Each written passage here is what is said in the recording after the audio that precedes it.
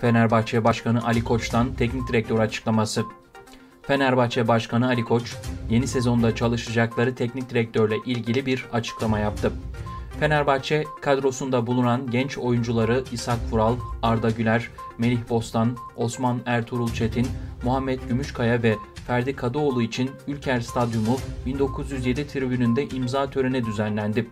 Bu imza töreninde teknik direktörle ilgili soruya Ali Koç şöyle cevap verdi. İsmail Kartal hiç para pul konuşmadan sıkıntılı bir dönemde takımı aldı. İsmail Hoca'nın ikinci adam olmak istemiyorum diye bir sözünü hatırlamıyorum. İsmail Hoca daha bize çok hizmet edecek, inşallah devam edebilir.